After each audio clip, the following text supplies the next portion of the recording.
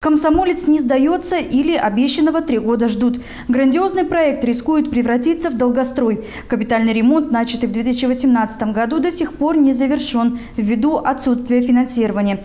При этом работы на объекте не прекращались ни на один день. За чей счет они ведутся? В ситуации разбирался девятый канал.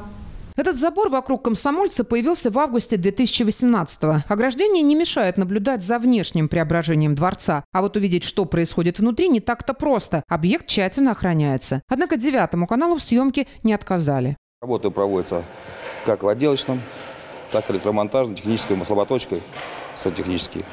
Уже работаем на чистовую отделку. У нас рабочий день шестидневный.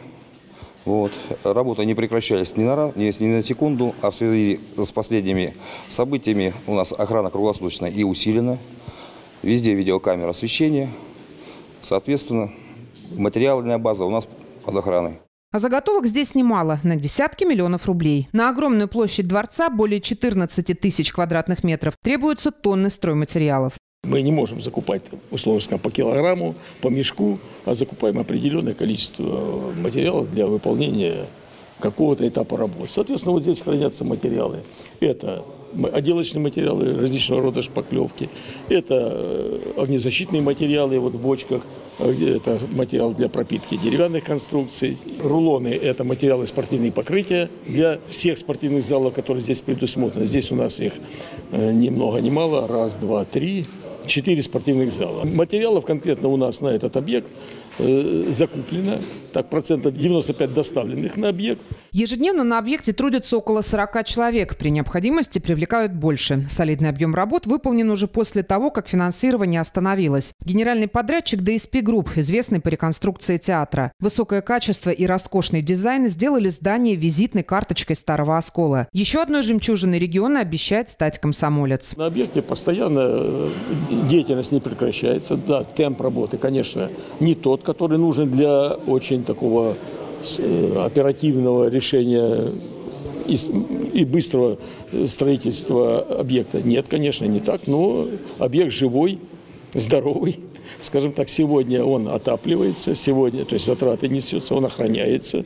Соответственно, работы подготовительные под чистовую отделку выполняются в большом объеме. Завершены строительные работы в спортклубе «Лыжная база». Сияют новизной вспомогательные помещения ДК. В основном зале на 950 мест закончена звукоизоляция стены потолка, разведена электропроводка. Установлены строительные леса для малярных работ. В малом зале осталось смонтировать подвесные потолки и уложить напольное покрытие. Готовы к чистовой отделке три спортзала школы Олимпийского резерва «Виктория». Керамогранит, паркетная доска, природный камень. На объекте используются самые качественные материалы. Продуманные дизайнерские решения вдохнули во дворец новую жизнь, при этом сохранен дух и характер комсомольца. В какой-то момент подрядчики оказались один на один с проблемами проекта, но многие вопросы решить без административной поддержки просто невозможно. Большие вопросы есть и для нас нерешенные в связи с внешним электроснабжением объекта. Эта эпопея уже длится больше года, реально где-то чуть ли не два года. С, с момента начала идет, э, первый запрос был э, МРСК центра о том 3-4 миллиона затрат дополнительных за техприсоединение, э, организацию того техприсоединения, которое нужно, чтобы была и первая категория электроснабжения. А сегодня большой вопрос по, по этим вопросам. А почему? Потому что никто не собирается выделять 3-4 миллиона под это дело. Соответственно, э, ну, просто перевели это в разговор. Это и предыдущий мэр Сергеенко занимался несколько раз, были э, многократные встречи э, в Белгороде с участием МРСК. Ну, в итоге итога нет итогового решения нет. Стройка века год назад имела все шансы стать долгостроем, когда финансирование из небюджетного источника прекратилось. Понимая всю, прежде всего, социальную ответственность и значимость проекта для староскольцев, а также сохраняя свой многолетний авторитет в строительной сфере, подрядчикам было принято решение продолжить работы, несмотря ни на что. Строительство не, прекра... не прекращалось, потому что лично не представляю, как остановить э, и потом перезапустить. Э, консервация объекта такой сложности ни к чему точно хорошему не приведет. Поэтому коллективом ДСП Групп принято решение пусть в вялотекущем режиме, но оставаться на объекте и по мере сил и средств работать. Насколько я понимаю, финансирование прекращено. За чей счет тогда вот ведутся работы? Финансирование было ограничено еще полтора года назад, а на сегодняшний день оно полностью прекращено.